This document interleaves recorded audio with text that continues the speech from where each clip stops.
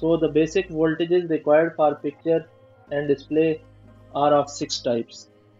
These six voltages are if present then your picture will be okay. Otherwise you have a white display or a bars on the screen or a black screen and faults like this. So first voltage is V in, it is 12 volt We got Second is VCC, it is 3.3 volt. Third voltage required for picture is VGL, it is about minus 5 volt to minus 8 volt depends upon models. Fourth voltage is VGH, it should be between 20 volt and 30 volt. Maximum this voltage is about 25-27 volt. Fifth voltage viewer is VDD or VAA. This is equal to 15 volt. Sixth voltage required for picture or display is HVDD or VCOM. It is almost the half of VDD. It should be 7 volt or 7.5 volt. So if these voltages are present,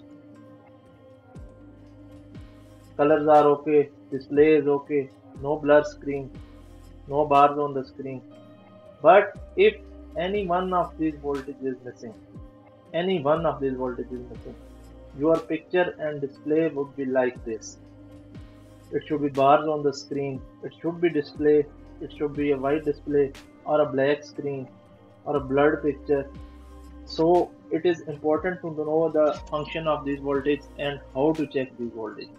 The second part of my video is how to check test T-con and scaler DC to DC voltages and their testing points. Viewers, some LCD LED TV may have T-con boards. This is a T-con board. You can see that it have a DC to DC IC and some may have not. The LED TV which have not T-con board have scaler PCB like this and the DC to DC IC is located on this scaler PCB. But the checking procedure is same. You can see that Every T-con and scaler PCB have testing points. It has V in, VGH, VGL, VCC. This is VGH point, this is VGL, and this is VCC.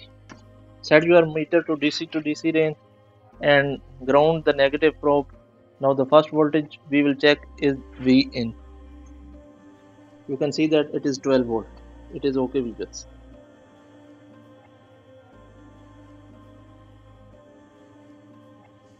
second voltage we will check is VGL here is the testing point VGL should be minus 5 volt you can see that third voltage is VGH here is the testing point of VGH it is 26.95 volt. It is okay. Next voltage is VDD viewers here is its testing point. It is 15.5 volt. It is okay. Next voltage is at HVDD it is 7.73 volt.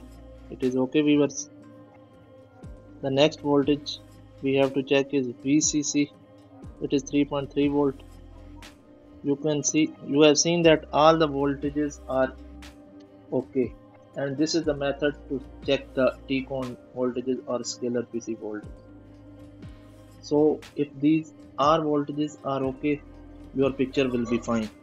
And if any one of these voltage is missing, your picture will be bad. White display, black display, bars on the screens, colors bars on the screen, and things like that. So this is the video for today. If you have enjoyed it, kindly like it and subscribe my channel. Thanks for this.